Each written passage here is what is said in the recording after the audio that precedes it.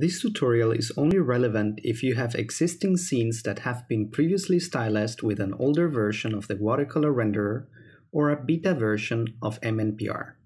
If you have, your assets and scenes will need to be upgraded for this new release.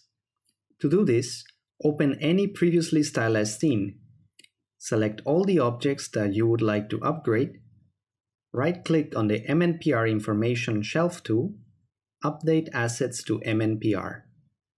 This will automatically upgrade your scene in the background, creating any missing vertex color sets and transforming all your materials to the Shader effects framework.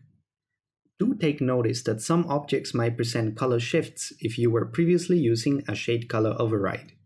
This is nothing to worry about though, as there are other ways now to get these colors back.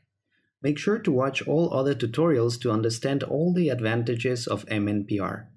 Now that the scene has been converted, Save it under a new file name and you're good to go.